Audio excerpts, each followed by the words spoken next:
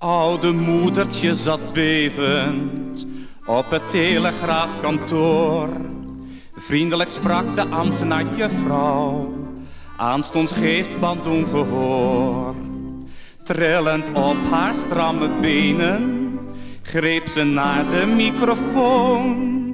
En toen hoorde zij, o wonder, zag de stem van haar zoon. Hallo, Bandung? Ja, moeder, hier ben ik. Dag, lieve jongen, zegt ze met een snik. Hallo, hallo? Hoe gaat het, oude vrouw? Dan zegt ze alleen... Ik verlang zo erg naar jou. Lieve jongen, zegt ze teder, ik heb maandenlang gespaard. Het was om jou te kunnen spreken, mijn allerlaatste gulden waard. En ontroerd zegt hij dan, moeder, nog vier jaar dan is het om.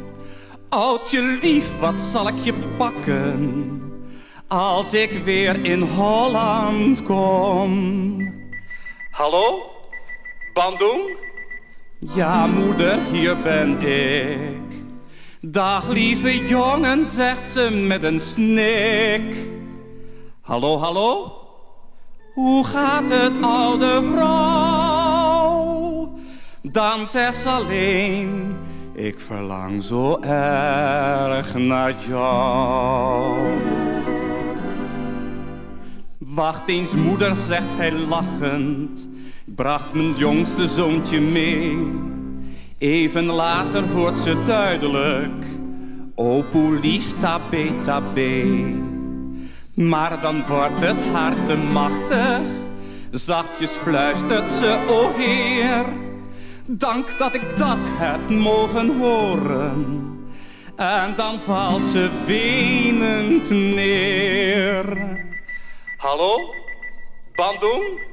Ja, moeder, hier ben ik.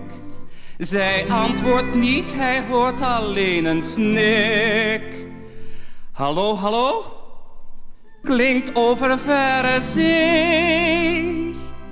Zij is niet meer en het kindje roept tabé.